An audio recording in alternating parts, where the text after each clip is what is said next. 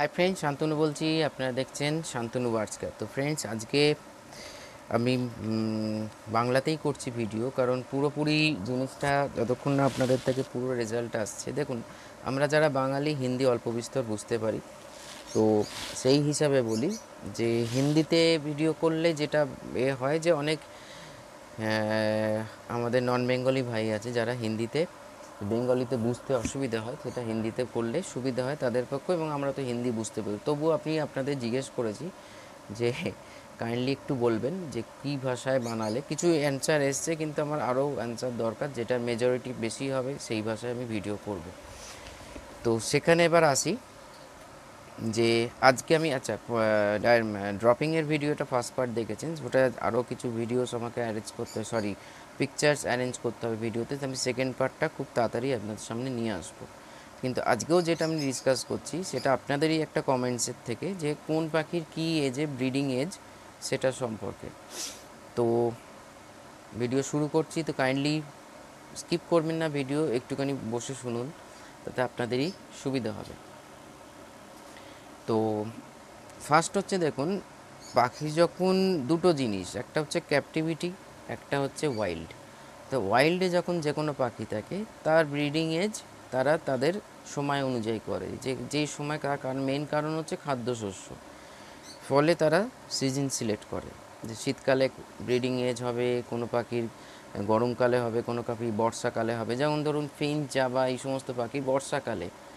আমাদের দেশি কাক যারা বর্ষাকালে, কারণ এক সময় পোকামাকড়ের ব্যাপারটা, জল জমে পোকামাকড়ের ব্যাপারটা বেশি থাকে, তো যাদের প্রোটিন ম্যানিমেল প্রোটিনটা দরকার লাগে, তাহলে এই জাতীয় পাখির ওই সময়টা বেশি ব্রিড করে। কিন্তু যখন ক্যাপটিভিটিতে আসছে, আমরা যখন, এবার আমি এখানে বলতে চাইছি না কে সফট ফুড দিচ্ছেন, কে দানা দিচ্ছেন, ওসব না মেন যে আমরা তাকে একটা স্পেস দিচ্ছি, আমরা তাকে প্রত্যেক দিন একটা খাদ্যের ব্যবস্থা করে দিচ্ছি।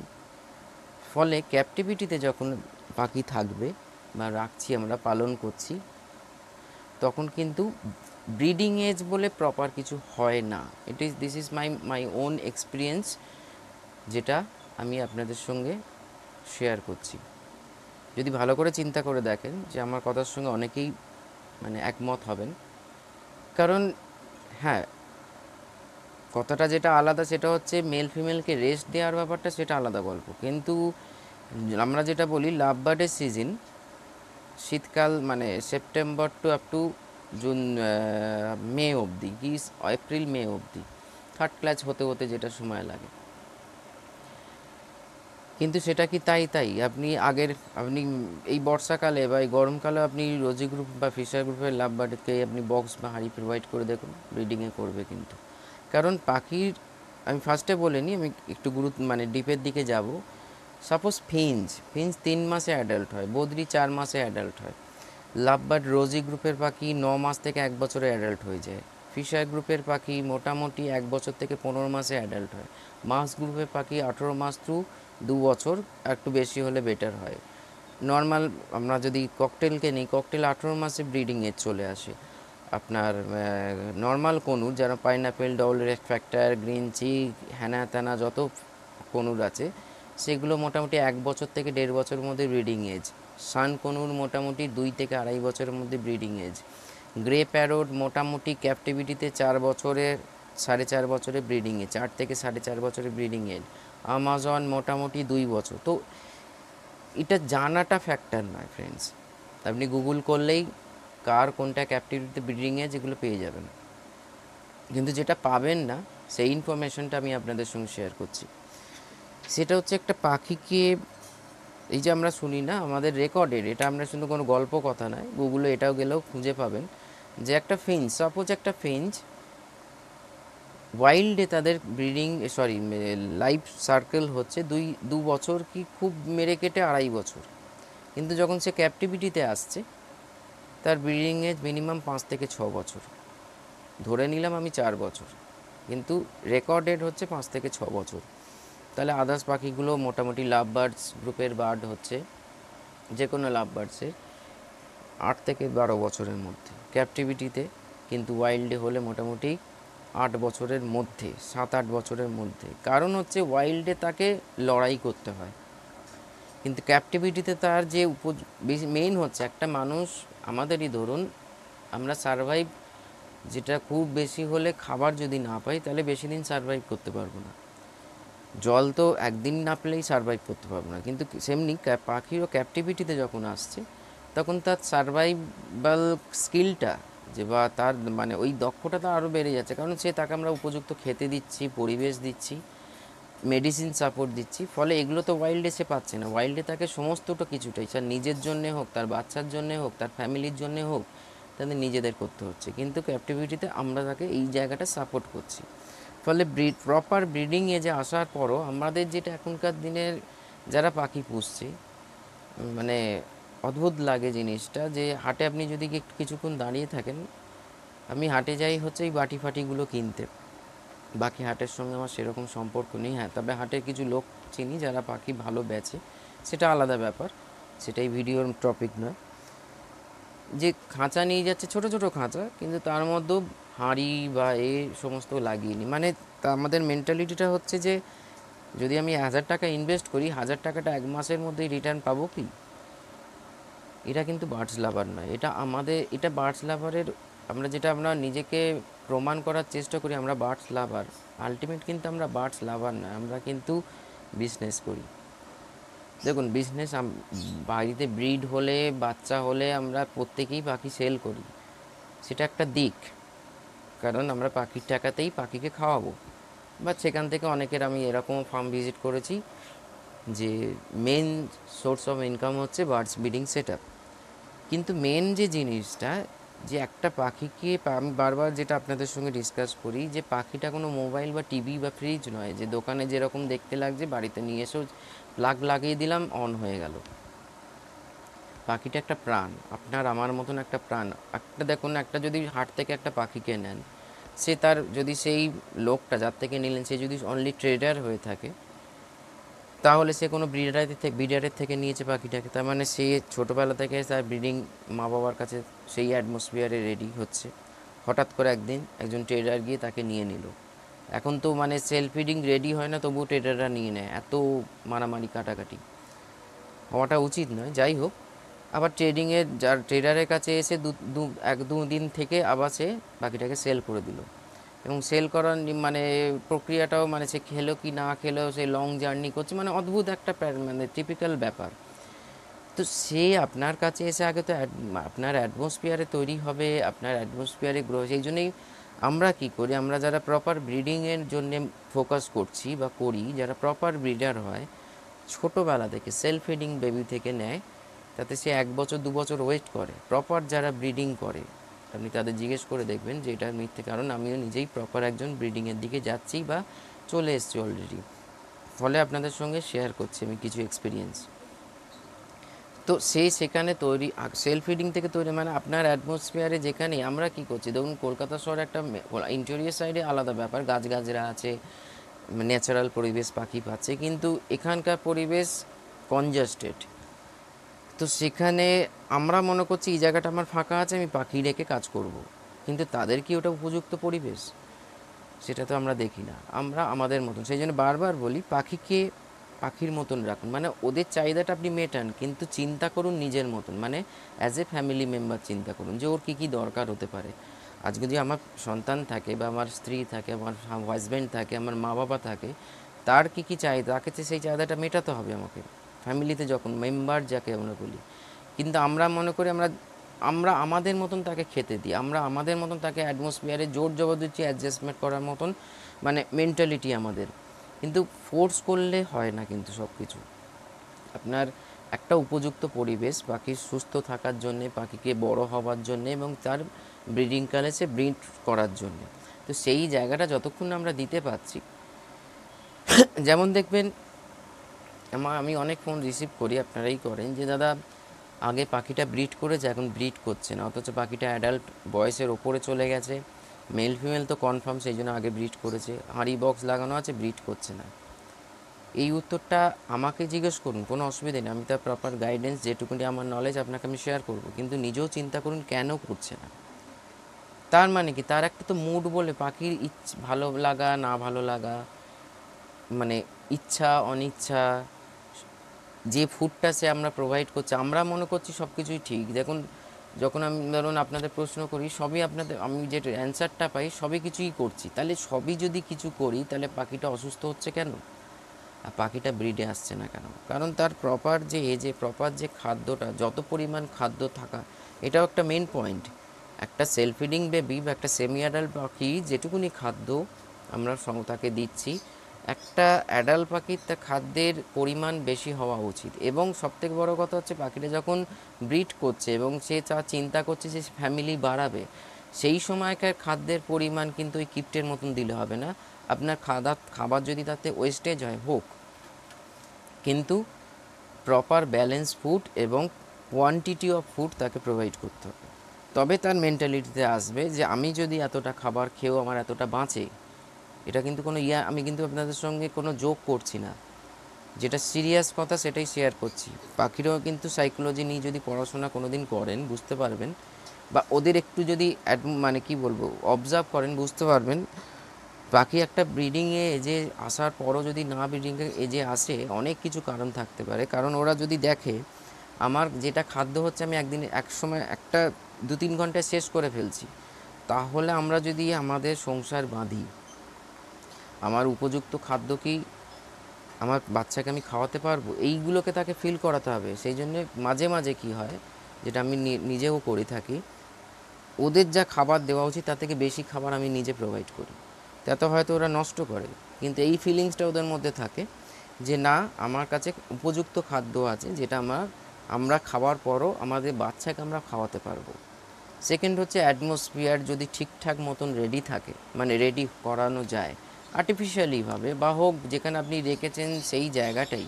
মানে দেখুন, ছোট জাতীয় পাখির বেশি প্রবলেম হয় না, বড় জাতীয় পাখি প্রায় বেশি বড় দরকার। বিশেষ করে কনুর থেকে যদি আপনি চিন্তা করেন, দেখবেন হ্যাঁ আপনার সঙ্গে যদি একটা বন্ডিং থাকে, আপনি খেতে দিচ্ছেন রোজ, পরিষ্কার করছেন কেজ হ্যাঁ না হোয়াট এভার সেখানে কিন্তু আপনার সঙ্গে একটা বন্ডিং তৈরি হচ্ছে, তো আপনার সঙ্গেও দেখবেন মিটিং করতে। কিন্তু আদারওয়াইজ ওদের একটা প্রাইভেসি দরকার লাগে। তো যেটা আমরা দেখি যে পাখি এজে আসার পরও ব্রিড করছে না। হয়তো তার মুড নেই, হয়তো তার পরিবেশ ঠিক মতন নেই, হয়তো যে খাদ্যটা আমরা তাকে খেতে দিচ্ছি, তার ফিলিংসটা হচ্ছে সে তার উপযুক্ত পর্যাপ্ত পরিমাণে খাবার সে পাচ্ছে না। যে, কারণ যেটা বললাম, একটা সেলফ ফিডিং বাচ্চা যদি এইটুকুনি খায়, এইটুকুনি, একটা সেমি অ্যাডাল্ট পাখি এইটুকুনি খাবে, একটা অ্যাডাল্ট পাখি এতটা খাবে। তারপরেও যেটা ধরুন বেঁচে যেটা থাকবে, সেটা তার বাচ্চাকে খাওয়াবে। তো এই ফিলিংসগুলো তাদের মধ্যে আনানো দরকার। সেকেন্ড হচ্ছে মুড এই থার্ড হচ্ছে মুড হয়তো ফিমেলের মুড আসছে, এর কারণ মুডের মেইন যে কারণ নির্ভর করে সেটা হচ্ছে ইন্টারনাল এনার্জি আমি যদি ধরুন এখন সাপোজ আমার জ্বর হয়েছে, তো আমার আমি বসে এখন ভিডিও করতে পারব না। আমার মনে হবে আমি শুই। শুয়ে চুপচাপ ঘুমোই। কিন্তু আমার জ্বর হয়নি, ভেতরে ইন্টারনাল এনার্জি স্ট্রং আছে বলে আপনাদের সামনে বসে আমি ভিডিওটা শ্যুট করছি বা আপনাদের সঙ্গে আপলোড করে শেয়ার করছি ইনফরমেশনগুলো ডে বাই ডে তেমনি পাখিরও ইনার এনার্জি যদি ফিট থাকে, তা অটোমেটিক সে ব্রিডিংয়ে আসবে কিন্তু ইডিং এজ যদি থাকে ঠিকঠাক মতন হয়ে থাকে। এবং তার সার্কামটেন্সেস যেটাকে বলে পরিস্থিতি। সার্কামটেন্সেস যেটা হয় পরিস্থিতি, যে আমার উপযুক্ত খাদ্য আছে কি না আমার পরিবেশ শ্যুট করছে কি না আমার যে ঘরটা দেওয়া হয়েছে বক্স বা হাঁড়ি দেওয়া হয়েছে, সেই হাঁড়িটা আমার পছন্দ হচ্ছে কি না এই সমস্ত পরিস্থিতি কিন্তু, কারণ নট নেসেসারি যে মানে এটা এটা ভেবে নেবেন না। আপনি ধরুন একটা হাঁড়ি আগে একটা পাখিকে প্রোভাইড করেছে বা একটা বক্স সেই বক্সটা হয়তো ভেঙে টেঙে বা কোনো কিছু একটা প্রবলেম হচ্ছে। পরের ব্রিডিংয়ে সেই পাখিটা সেই বক্সটাকে বা হাঁড়িটাকে পছন্দ করবে দিস ইজ নট নেসেসারি আপনি বক্স পাল্টে দিন। এরকম অনেক ক্ষেত্রে অনেককে অ্যাডভাইস দিয়েছি আমি যে হাঁড়ি বা বক্স পাল্টাও। দেখা গেছে হাঁড়ি বক্স পাল্টানোর পর পাখি ব্রিডিংয়ে এসছে। তো এইগুলো না জেনে একটা হাট থেকে পাখি নিলাম আর হাঁড়ি লাগিয়ে নিয়ে চলে গেলামই বলে সেটা একশো জনের মধ্যে দুজনের হয়, নিরানব্বই জন কিন্তু প্রবলেমে পড়ে। তখন কি মনে হয়? পাখিটা বাজে। পাখিটা বাজে কেন হবে? তারও তো একটা প্রাণ তো, প্রাণের তো একটা আপনার পরিবেশের সঙ্গে আগে অ্যাডজাস্ট হবে, আপনার সঙ্গে আগে অ্যাডজাস্ট হবে। তারপর তো স্যার ব্রিডিং এজ আসবে প্রপার ব্রিডিং এজ এলেই। কারণ আমরা যখন ট্রেডারের থেকে জিনিস নিই, সে একটা সেমি অ্যাডাল্ট পাখিকেও বলে দেয় কিন্তু অ্যাডাল্ট পাখি। তো আমরা তো সেই বিশ্বাসে নিয়ে এলাম, সেই জন্য বারবার আমি আপনাদের সাজেস্ট করি, দুটো টাকা বেশি লাগুক, কিন্তু ব্রিডার ছোট বড় নয় ব্রিডারের ঘর থেকে পাখি তুলুন। তাতে কিন্তু আপনার কোয়ালিটিটা মেনটেন হবে এবং সে কিন্তু তার নিজের নাম রক্ষার জন্যে আপনাকে কিন্তু একটা অ্যাপ্রক্স বয়স বলতে পারবে হ্যাঁ দিনের হয়তো উনিশ বিশ হতে পারে, যে পাঁচ দিন, ছ দিন এদিক ওদিক হলো, কিন্তু সেমি অ্যাডাল্ট মানে সেমি অ্যাডাল্ট অ্যাডাল্ট মানে অ্যাডাল্ট সেলফ ফিডিং মানে সেলফ হ্যাঁ সেলফ ফিডিং বেবি তো বোঝাই যাবে যে নাকের এখানে কালো দাগ থাকে, সেইগুলোর দেখে আমরা বুঝতে পারি, বা বডি স্ট্রাকচার দেখে, বা ফেস কাটিং দেখে বাচ্চা পাখি না সেমি অ্যাডাল্ট পাখি না অ্যাডাল্ট পাখি বোঝা যায়, যদি আপনার আইসাইট তৈরি হয়ে যায়। তো পাখি ব্রিডিং এজ তো আমি শেয়ার করলাম আপনাদের সঙ্গে, কোন পাখি কোনটা ব্রিডিং এজ কিন্তু তাকে ব্রিডিং এজের আসার পরও তাকে উপযুক্ত একটা সময় দিন তাদের উপর ব্রিডিংটা কিন্তু জোর, আমরা কি করি, আমরা মেডিসিন বা কোনো রকম কিছুর মাধ্যমে ব্রিডিংটাকে কন্ট্রোল করার চেষ্টা করি। না জাস্ট ওদের ওপর ছাড়ুন প্রপার খাদ্য দিন প্রপার ব্যালেন্স ফুড দিন, পর্যাপ্ত কোয়ান্টিটি অফ ফুড দিন মানে পর্যাপ্ত পরিমাণে খাদ্য দিন। তাতে যদি ওয়েস্টেজ হয়, একটু অল্প বিস্তর ওয়েস্টেজ হোক, কারণ আমরাও তো দেখুন অনেক কিছু নষ্ট করি। আমরা যদি অনেক কিছু, যদি ভালো করে চিন্তা করে দেখবেন, সারাদিনে আমাদের যে টাকাটা ক্যালকুলেট করি, একটু অন্যদিকে যাচ্ছি, সেখানে অনেক কিছু কিন্তু নষ্ট হয়। আমি নিজেও একজন যদি পাখির দিক দিয়ে বলে, আমি একজন নিজে আমি স্মোক করি। কিন্তু যদি ঠিক মতন দেখা যায় যে টাকাটা যদি ধোঁয়াতে না উড়িয়ে অন্য কিছুতে খরচা করা যায়, তো অনেক টাকা সেভ হয়। কিন্তু আমিও তো নষ্ট করছি। তো পাখিকে এক্সট্রা খেতে দিতে নষ্ট করার চিন্তাধারাটাকে ছাড়তে হবে। কারণ সারাদিনে আমরা অনেক কিছু নষ্ট করি। টাকা দিয়ে যদি হিসাব করি আমরা, সেই হিসাবে সেখানে যদি আমরা দুটো খাবার বেশি দিই, তা যদি তারা নষ্টও করে করুক, আমরা তো নিজেরাই করছি। তো এই সমস্ত জিনিসগুলোকে নিয়ে চিন্তা করুন। এজ আসুক, এজের আরও তিন চার মাস পরে তাকে হাঁড়ি বা বক্স দিন। ন্যাচারালে ছাড়ুন, কারণ আমি নিজে দেখে, আমার নিজের প্র্যাকটিক্যাল অভিজ্ঞতা আছে।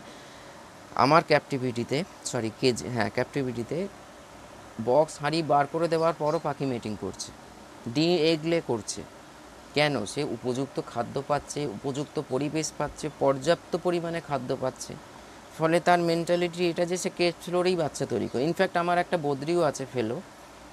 অনেকেই যারা আমার বাড়ি এসে দেখেছে কেচ ফ্লোর হাঁড়ি দিল কেচ ফ্লোরে মানে মানে তাই জন্য আমি তার নাম দিয়েছিলাম চ্যাম্পিয়ন মানে চ্যাম্প বলে ডাকি। মানে যটা ডিম এগলে করবে, তটাকেই মানুষ করবে কেচ ফ্লোরে এবং তাদের সঙ্গে আমার, তার সঙ্গে, তার মানে হাজব্যান্ডের সঙ্গে বা মেয়েটার সঙ্গে, ছেলেটার সঙ্গে আমরা যাই, যারাই হোক না কেন বন্ডিংটা খুব ভালো। মানে এখানে ধরুন বাচ্চা রয়েছে, এখান থেকে আমরা পরিষ্কার করছি, এ করছি, ও কোনো গুরুত্ব দেয় না। তো উপযুক্ত পরিবেশ পেলে পাখি এমনিই বা ডিম বাচ্চা করবে। তো প্রপার এজে আস, নিয়ে আসার চেষ্টা করুন। প্রপার এজে নিয়ে আসার চেষ্টা করুন, কারণ এই কারণে বললাম, তিনটে পার্ট হয়। একটা হচ্ছে সেলফ ফিডিং থেকে অ্যাডাল্ট তার মাঝখানে সেমি অ্যাডাল্ট ঢুকে আছে। এই যে এজটা এখানে কেয়ার করতে হবে। অ্যাডাল্ট পাখিকে প্রপার কেয়ার করতে হবে তার food habit balance food quantity of food আর একটা হচ্ছে, যখন এগ লেইংয়ের পর থেকে ফিমেলের কেয়ারিং এবং বাচ্চা যখন জন্ম নিচ্ছে বেবির কেয়ারিং বেবি কেয়ারিং নিয়ে আমি একটা আলাদা, একদম ডেডিকেটেড ভিডিও বানাবো, যেটা আপনাদের যাদের কনফিউশন আছে যে এখনও পর্যন্ত যে বাচ্চা হওয়ার পর কীরকম কেয়ারিং হওয়া উচিত। পুরোপুরি যেরকম হওয়া উচিত, সেইটাই আমি আপনাদের সামনে তুলে ধরবো as as per my knowledge as per my own knowledge আমি অন্যেরটা নয়, নিজেরটা, আমার যেটুকুনি অভিজ্ঞতা অর্জন করেছি, সেটা আমি শেয়ার করব আপনাদের সঙ্গে। তো আজকে এইটুকুনি, আশা করি ব্রিডিংয়ের সম্পর্কে আর কিছু বলার নেই। দেখুন, বলার তো প্রচুর জিনিস আছে, কিন্তু সেটা একটা ভিডিওতে কমপ্লিট করা সম্ভব নয়। পরে যদি কোনো মানে আসে, কোনো কিছু খেয়াল আসে মানে খেয়াল মানে কি, আমার প্র্যাকটিক্যালে যে এইটা বলা উচিত ব্রিডিংয়ের জন্য, আমি নিশ্চয়ই অন্য একটা এপিসোডে বা অন্য একটা ভিডিওতে আপনাদের সঙ্গে নিশ্চয়ই শেয়ার করব। তো আজকে এইটুকুনি। ভালো থাকুন, সুস্থ থাকুন, পাখিকে ভালো রাখুন, উপযুক্ত খাদ্য দিন কোয়ান্টিটি অফ ফুড দিন ব্যালেন্স ফুড দিন, একটু ওয়েট করুন পেশেন্স রাখুন। পা, কোনো পাখি খারাপ নয়। একটা পাখি যে আমরা দেখি এগলে করছে এক সংখ্যাও ঠিক আছে দুটোর মধ্যে চারটে ফুটছে যেখান থেকে নিয়ে এসেছেন তার, তাকে গিয়ে জিজ্ঞেস করুন যে পাখিটাকে কি খেতে দিত। সে হয়তো সম্পূর্ণ দানার ওপর আছে এই যে বারবার বলি দানার ওপর পাখিকে নয় soft food must daily soft food any kinds of weather হোক, যে কোনো ধরনের ওয়েদারে সফট ফুড মাস্ট তাতে যদি সে অল্প বিস্তর পটির প্রবলেম হয়, হজম মেডিসিন বা ন্যাচারাল ট্রিটমেন্ট করুন, কিন্তু সফট ফুডকে অফ দেবেন না। কারণ সে তার শরীরের ক্ষমতাই যদি না থাকে, সে প্রোডাকশান করবে কি করে? আমরা সেখানে মনে করি পাখিটা খারাপ ভেবে পাখিটাকে সেল করে দিই। তো এইগুলোকে করবেন না। ধৈর্য ধরুন বার্ড ব্রিডিং সেট মেন জিনিস হচ্ছে পেশেন্স কারণ আপনার যদি ধৈর্য না থাকে, তো কোনো দিনই আপনার যদি কোটি টাকাও থাকে, বড় পাখি করতেই পারবেন না। কারণ তার জন্য যে পেশেন্স কারণ এরকম অনেক জায়গা দেখা গেছে যে অ্যামাজন বা গ্রে অন্য জায়গায় ব্রিড করছে, সেই ব্রিডিং পেয়ারকে বাড়িতে নিয়ে আসার পর সারা জীবন ব্রিডই করেনি। কারণ সে তার পরিবেশের সঙ্গে উপযুক্তই নয়। সেই জন্য অনেক কিছু বোঝবার আছে, জানবার আছে। This is not a matter of joke পাখি ব্রিডিংটা কোনো জোক নয় একটু সিরিয়াস আমরা যদি হই তাহলে আমরাও রেজাল্ট পাবো প্রত্যেকে নমস্কার